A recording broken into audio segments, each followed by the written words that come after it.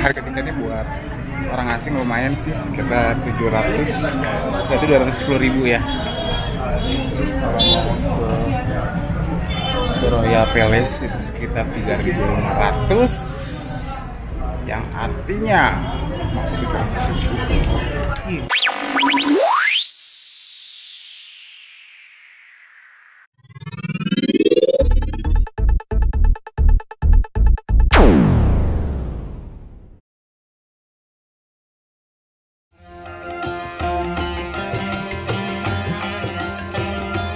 Assalamualaikum warahmatullahi wabarakatuh. Ketemu lagi di channel Danan Wahyu. Dan kali ini masih dari India.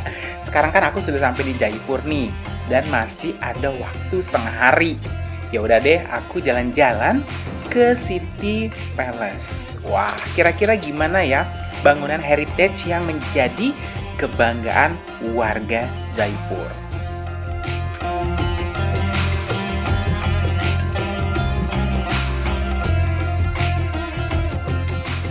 Oh ya guys, sebelum kamu melanjutkan video ini, jangan lupa untuk memberikan like dan komentarnya di video ini.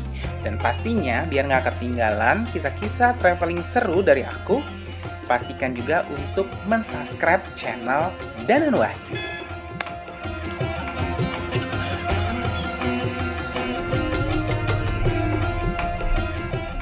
Cuman mau ngingetin, jadi di bagian kedua trip India kemarin, aku kan naik Grab dari India ke Jaipur.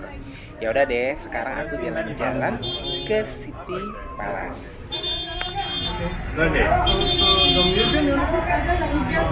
Harga tiketnya buat orang asing lumayan sih, sekitar 700 berarti 210 ribu ya. Terus kalau mau ke ke Royal Palace itu sekitar 3500 yang artinya 700 ribu. Iya. Walaupun hitungan tiketnya mahal banget, yaitu sekitar 700 ribu rupiah, aku tetap beli gitu ya. Agak sakit hati sih, karena beda dengan warga lokal yang tiketnya itu sepersepuluhnya. Jadi eh, 700 ribu ini cuma masuk aja gitu, belum termasuk fasilitas audio phone kalau kamu pengen pakai fasilitas audio phone juga belum termasuk kalau kamu pengen makan siang di restoran yang ada di sini.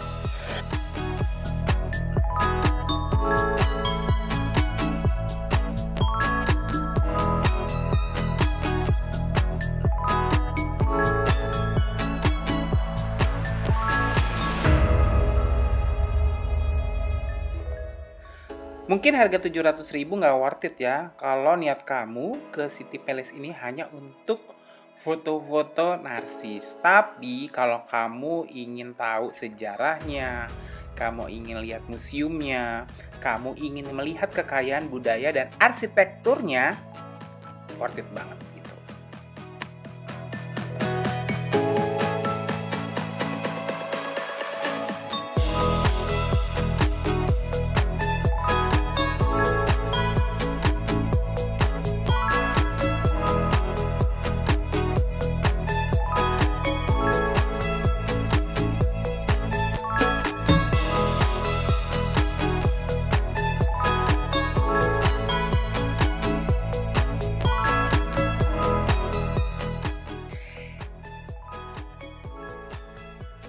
Jadi, di dekat pintu masuk itu ada satu museum. Ini lebih kayak museum pakaian lah ya gitu. Yang dikenakan oleh raja dan keluarganya dari masa ke masa. Sebetulnya nggak boleh ngambil foto di dalam sini, tapi aku sempat lah ya curi-curi ngambil video.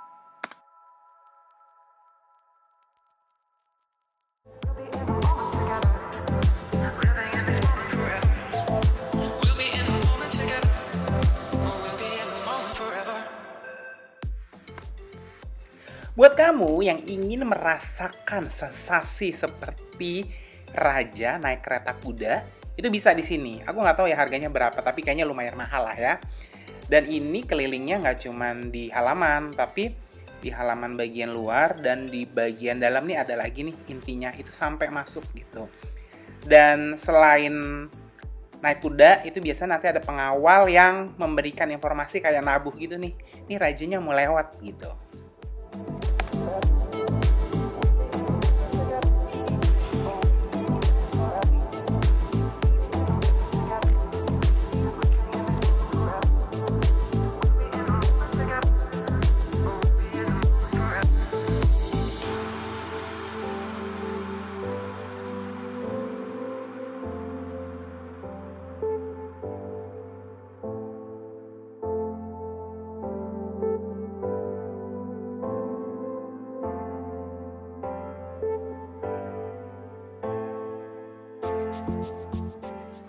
Selain atraksi-atraksi ini sebenarnya banyak atraksi lainnya gitu ya kayak ruangan raja. Tetapi sorry banget guys nggak bisa foto di dalam gitu. Jadi gue cuman eh, ngambil-ngambil luarnya aja. Tapi overall ya nggak nyesel deh ngeluarin duit 700 ribu untuk melihat eh, keindahan arsitektur dan kegayaan budaya seperti ini gitu. Apalagi ada atraksi musik dan tari yang bikin gue itu sebenarnya duduk lama gitu. Ya udah deh. Untuk kamu yang penasaran, pokoknya lihat ya atraksi musik dan tari India berikut ini.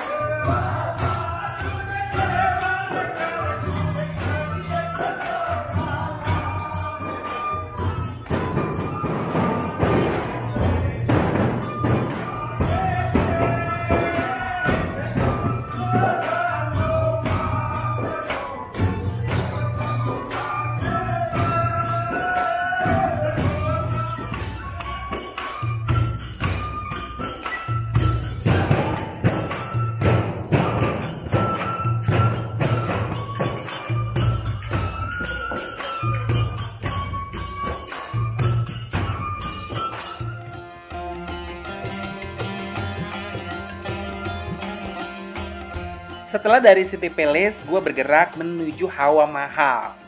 Nah, ini nih di depannya itu ada cafe yang tinggi banget dan biasanya orang-orang nungguin sunset tuh di situ gitu. Ya udah deh, gue ikut aja orang-orang buat menantikan sunset. Dan ternyata emang beneran keren.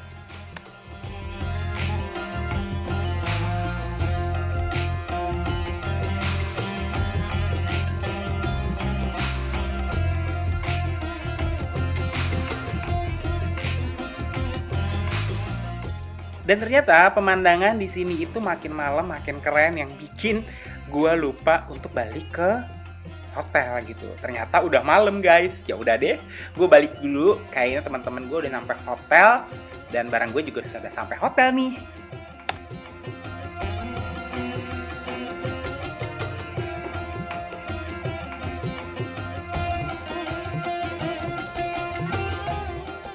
hari ini seru nggak? Ya udah deh. Untuk kamu yang mau komentar tentang perjalananku hari ini, silakan ya langsung aja komentar dan pastinya juga ditunggu like-nya. Jangan lupa yang belum subscribe channel Danan Wahyu di subscribe aja biar nggak ketinggalan nih episode berikutnya jalan-jalan ke India. Nah untuk kamu yang mau tanya-tanya trip India atau mungkin ingin membaca versi tulisannya langsung aja mengunjungi blog aku di www.dananwahyu. Ya udah guys, ditungguin ya sambungan ceritanya. Dan akhir kata aku mengucapkan wassalamualaikum warahmatullahi wabarakatuh. Sampai jumpa di video berikutnya.